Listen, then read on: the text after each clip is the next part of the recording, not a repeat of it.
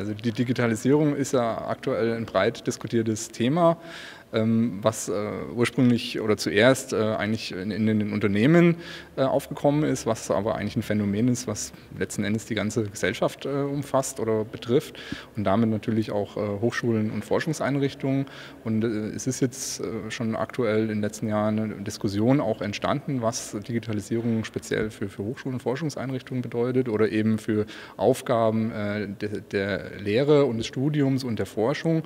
Im Mittelpunkt steht eigentlich die Frage, wie kann es gelingen, diese Potenziale, die Technologie immer wieder bildet, und bietet, ähm, so schnell auch in, in äh, sei es Wettbewerbsvorteile oder auch äh, in einen sozialen Nutzen äh, umzusetzen, dass ich mich entweder als Unternehmen sozusagen damit von Konkurrenten abhängen, abheben kann oder ähm, im, im, gesellschaftlichen Kontext einfach sozusagen einen Beitrag zu, zur Weiterentwicklung der Gesellschaft leisten kann.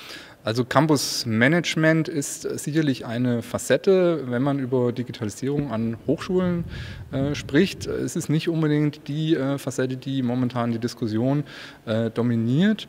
Aber äh, tatsächlich ist es so, dass aktuell immer noch sehr viele Hochschulen äh, mit ihren Campus-Management-Systemen beschäftigt sind, diese äh, ablösen, neue einführen.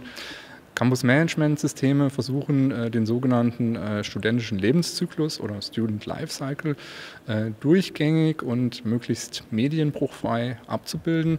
Also stellen Sie sich vor, ähm, Sie beginnen an einer Hochschule das Studium, beziehungsweise in der Regel setzt der, der, die Betrachtung weiter vorne an, nämlich Sie bewerben sich an einer Hochschule und ähm, tun das eben heute üblicherweise ähm, schon online über ein entsprechendes Webinterface, müssen aber äh, später dann äh, für die Zulassung immer noch äh, Dokumente im Original einreichen. Und hier ist natürlich eine Idealvorstellung, dass man irgendwann ähm, zu dem Punkt kommt, wo man eigentlich auf Papierdokumente verzichten kann. Also dieser Gedanke spielt eine Rolle und dann eben auch im weiteren Verlauf des Studiums ähm, dem Studenten es zu ermöglichen, ähm, ja, ich sag mal, jegliche Interaktion mit der Hochschule online durchzuführen, auch mobil durchzuführen, auf mobilen Endgeräten von zu Hause aus, im Endeffekt ähm, egal von äh, wo auf der Welt er sich gerade aufhält.